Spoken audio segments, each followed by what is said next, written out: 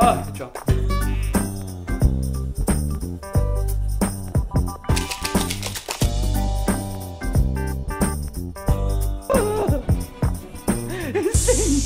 ah, oh, sorry. oh God. There we are. hey, Kazual bartenders, what's going on? I'm Mike Kaz, coming back to show you guys how to make yet again another syrup, and this one actually happens to be one of my favorites. It's ginger syrup. Uh, for this one, you're actually gonna need uh, another piece of equipment, a juicer. It's good to actually buy a juicer. Start getting healthy. Everybody's juicing now any days. Any, anyway, so this one's gonna need a juicer. You can do this with a blender, but just know if you're gonna use a blender that you need to get something called a super bag or a lot of pieces of cheesecloth just to um, to be able to strain out all of the ginger juice. Because uh, there'll be a lot of pulp, there'll be a lot of just pith, and really you don't want that in the ginger syrup. To make the ginger syrup, you're gonna do a four to two to one ratio. So the first thing that we do is peel the ginger. The first time I ever did this, I started it with a peeler, like, you know, one of these guys right here, a little Y-shaped peeler. I got made fun of for doing that. They came up and they said that this is gonna take you forever. How do you get how do you get around those little bumps and those little nubs like this one right here? And I said very carefully. Well, he said put that down. So I did. I put it down and he handed me something a little bit more primitive, um, a spoon. I just looked at him. I was like, what are you doing? He goes, try this. Honestly, once you scrape it with a spoon, it'll be a lot faster. Uh, plus, you're not gonna, you know, peel off your knuckles either in the process. So, first thing we're gonna do, we're gonna juice our uh, fresh ginger, and then after that, you wanna actually weigh out the ginger. Like I said, that the ratio is four to two to one. So when you have your ginger juice, you're gonna weigh it out. Again, we're using our trusty little digital scale. And uh, when you get that number for how much or how many grams the ginger juice is, you're gonna times that by two. Once you times that by two, that gives you your four, and that's gonna be how much uh, evaporated cane sugar you're gonna be adding to it. Now, when you wanna get the water, so you take that same number again, the, the, the however many grams that the ginger juice you got, you're gonna take that and then you're gonna divide it in half, and that's how much water you're gonna add. So it's a four to two to one. Four, two ginger, one water. Cool. All right, let's get to making it. First thing we have to do, that's right, let's tear Figured it out. It's actually tare. That's the right way to say the word, the T-A-R-E. We gotta make sure that this is set to zero. So we'll turn it on. Put your cup right on top, 29 grams, and tare. Zero. Perfect. All right, now time to juice. Whoop. So we got that on. Put that all the way up to the celery setting. Put your cup underneath your deli mug.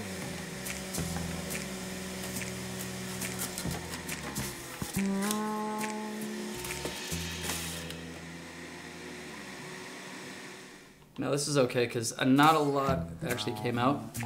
Part of it, I'm pretty sure, is um, probably the dial that we had it on. A lot of it's going to be found in the pulp. So I'm just going to take some of that pulp out and squeeze it right in. And then we can actually strain it right back into one of these guys. Oh yeah, that's some juicy pulp. Oh, it feels so gross. All right, where is my strainer? Strainer's over here. Hang on one second. Like I said, you don't want to get any of this fiber or anything into the juice. But look at all that. What a waste. Much ginger juice. All right, so we're gonna turn this guy on. Come on, digital scale. And I'm actually just gonna do this again just to make sure.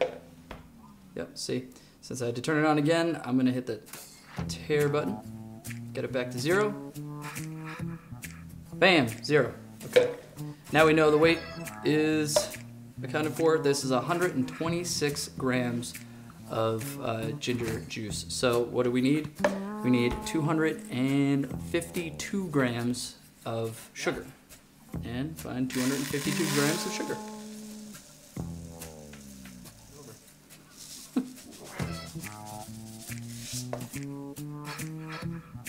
One off.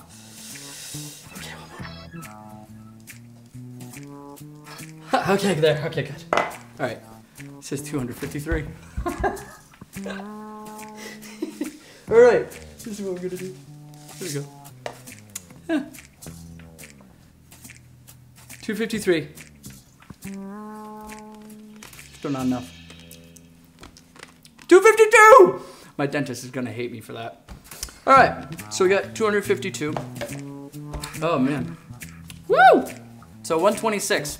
That's how much uh, ginger juice we had. So now what do we do? How do we find the water? Do you guys remember? You divide it in half. So how much is half of 126? Where's my phone? I have to do this out. What is that? 63. Thank you. I'm so happy that there are people behind this camera. All right. How many is that? 63 you said? Okay, so we're gonna look for 63 grams of water. So we're gonna, we're gonna take our cold filtered water and find 63 grams. Bam! 63! All right. Time to mix it all. So you're gonna take each of these ingredients and pretty much just pour them one into the next. So I'll just dump everything into the ginger one. Makes it a lot easier. Here's your sugar and your water. And much like the simple syrup, it's the same exact process. You're just gonna start to immersion blend it until it's all nice and liquefied and actually fully, uh, fully blended. Ready? Emulsified.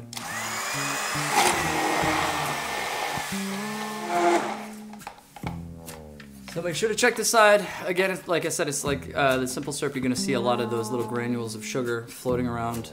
Just make sure to just keep going at it until you don't really see that anymore. They're very, very fine.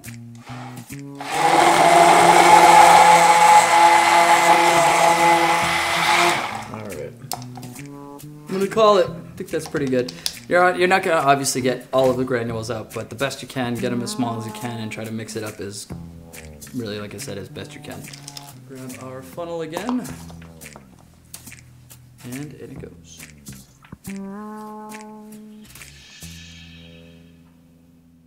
And there you have your ginger syrup. Very simple, very easy, and very delicious. So I hope you enjoyed uh, watching. Please do take the time, go out, get a juicer.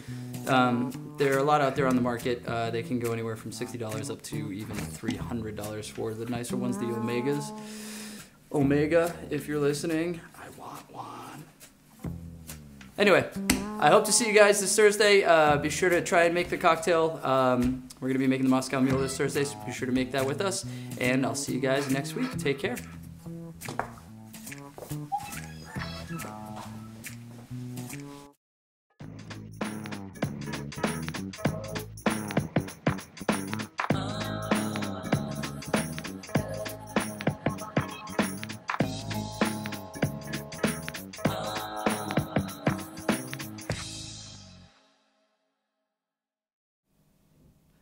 Blueberry bagel!